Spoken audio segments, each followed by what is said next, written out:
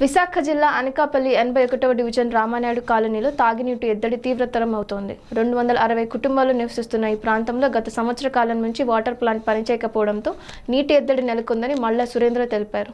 కొత్త మోటార్ వేసి ఈ సమస్యను తక్షణమే పరిష్కరించాలన్నారు. రామనాయుడు కాలనీలో మరి రెండు వందల ఎనభై కుటుంబాలు పేద కుటుంబాలు అందరూ కూడా ఏ రోజుకి ఆ రోజు జీవనోపాధితో బతుకుతున్న వ్యక్తులు. మరి వీళ్ళు గత రెండు సంవత్సరాలు పెట్టి కూడా ఇక్కడ వాటర్ ట్యాంకు రిపేర్ అయ్యిందండి.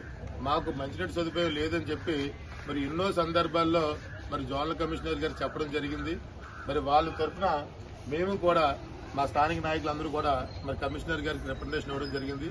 మరి వాటర్ వర్క్ ఏఈ గారిని పంపించడం జరిగింది. అయితే ఎన్నిసార్లు చెప్తున్నా సరే తూతూ మంత్రంగా మరి చిన్న కా- రిపేర్లు చేసి వెళ్తున్నారు. మరి ఈ రోజు పరిస్థితి అయితే మాత్రం వాటర్ ట్యాంక్లో మరి పూర్తిగా నిన్న కాక మొన్న వచ్చి రిపేర్ చేశారని చెప్తున్నారు. మరి రిపేర్ చేశారని చెప్పి ఇప్పుడు వాటర్ ట్యాంక్ వాటర్ ట్యాంక్ కూడా వాటర్ ట్యాంక్ కూడా పంపించడం మానేశారు. మరి ఇప్పుడు పరిస్థితి ఏంటంటే రిపేర్ చేశారు మోటార్ ఆన్ చేస్తే వాటర్ పైకి రావట్లేదు. మరి అలాగే ఉన్న వాటర్లో మరి ట్యాంక్ క్లీన్ చేయలేదు.